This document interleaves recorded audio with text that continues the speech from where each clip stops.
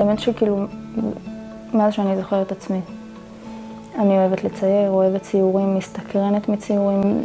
כל החיים, באמת שכל החיים ציירתי. יותר יותר בגיל ההתבגרות אה, ממש נכנסתי לזה. כן, זה באמת ממש כל תקופות החיים שלי. אז החתונה, ואז הגיעו הילדים. אז אני אז התחלתי לצייר אה, כאילו ילדים קטנים. אה, אני מאוד אוהבת לצייר הבעות פנים, הכי, יותר מהכל.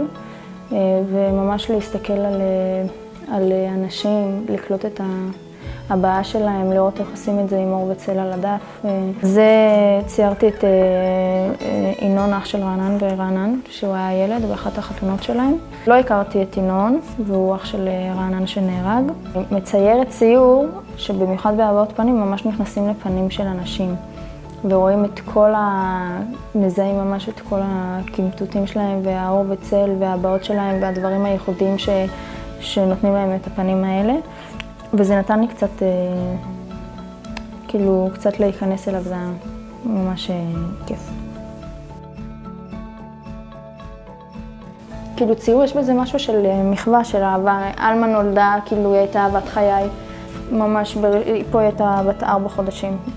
שום כזה בקטנה הייתי חייבת... כל פעם שכאילו רענן באמת עולה לי במחשבות, אז ישר.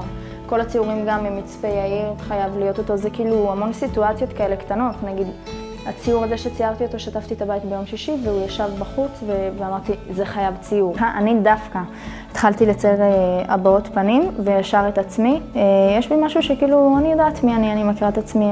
אה, גם אני חושבת שזה סוג של להביע את מה שאני מרגישה.